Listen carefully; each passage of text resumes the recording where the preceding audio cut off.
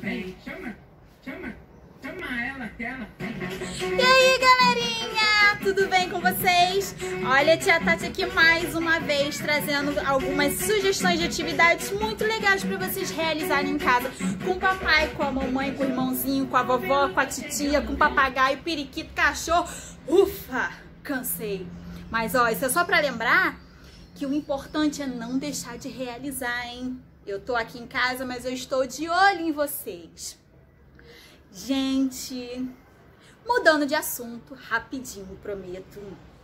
Eu fiquei tão feliz, ó, que eu trouxe até um coração hoje.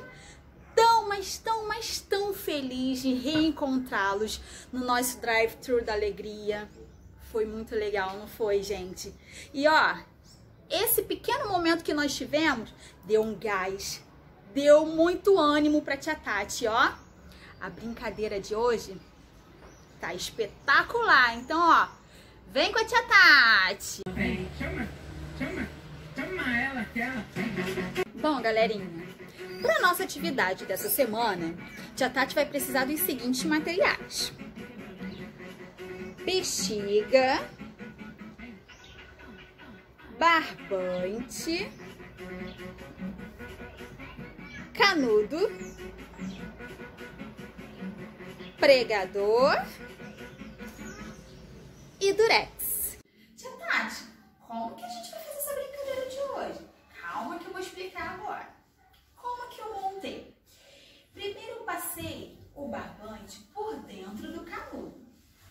E aí eu amarrei o canudo de um lado da cadeira e do outro lado. Depois eu enchi a bexiga, prendi com o pregador aqui na ponta e em cima eu amarrei, eu prendi com o durex entre o canudo e a bexiga. E agora eu vou demonstrar como que é a nossa brincadeira, hein? Agora eu vou fazer a mágica acontecer. Viram? E aí, gostaram? Bom, galerinha, essa atividade que a Tati demonstrou, ela pode estar sendo realizada de duas maneiras. A primeira foi do jeito que eu fiz, que dá para brincar sozinho. A segunda, ao invés de amarrar só de um lado e do outro, vocês vão amarrar o barbante duas vezes, de um lado e do outro, formando duas fileiras, ok? E aí vocês conseguem fazer uma disputa de bexiga. Eu quero ver, hein? Qual que vocês vão gostar mais? A de brincar sozinho ou de fazer uma disputa? Essa foi a proposta de atividade que Tia Tati trouxe para vocês. E eu espero que gostem. Tenham todos uma excelente semana e muitos beijos, beijos. E até semana que vem. Tchau, tchau, galerinha.